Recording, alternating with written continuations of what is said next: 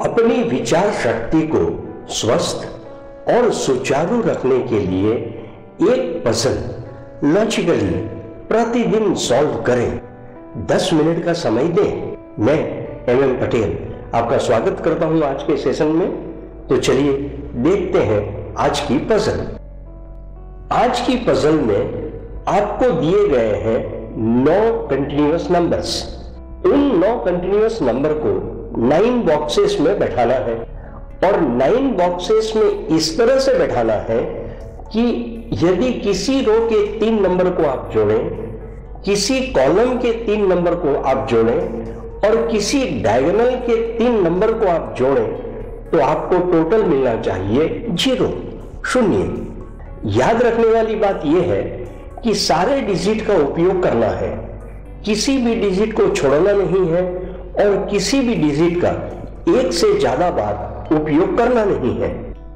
देखते हैं logical solution हमने तीन डिजिट लेने हैं और सम लाना है ज़ीरो इसका अर्थ है हमें नंबर्स माइनस साइन वाले लेने पड़ेंगे प्लस साइन वाले लेने पड़ेंगे निगेटिव नंबर्स लेने पड़ेंगे पॉजिटिव नंबर्स लेने पड़ेंगे। सेंटर में रखते हैं ज़ीरो निगेटिव साइड में नंबर्स लेते हैं minus one minus two minus three minus four positive side में नंबर्स लेते हैं plus one plus two plus three plus four नौ कंटिन्यूस नंबर्स हो गए। अब हमने इनमें से किसी तीन नंबर्स को लेना है और सम लाना है ज़ीरो यदि हम इन nine continuous numbers minus four minus three minus two minus one zero one two three and four. इनको जोड़े तो सम मिलेगा ज़ीरो।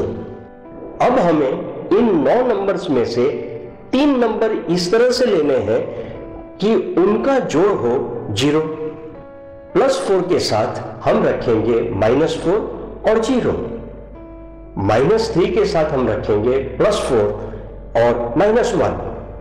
And plus two के साथ हम रखेंगे, minus two and zero arrangement आप देख रहे हैं। सभी रोज के तीनों नंबर के टोटल है ज़ीरो उसी तरह से तीनों कॉलम्स और दोनों डायगोनल्स के टोटल भी है ज़ीरो ये एक लॉजिकल सॉल्यूशन है। इसी तरह से 501 पजल की इस यात्रा में हम अपनी तार्किक विचार शक्ति को मज़बूत करते हुए आगे बढ़ रहे हैं। अगली पजल में फिर से मुलाकात होगी। थैंक यू धन्यवाद।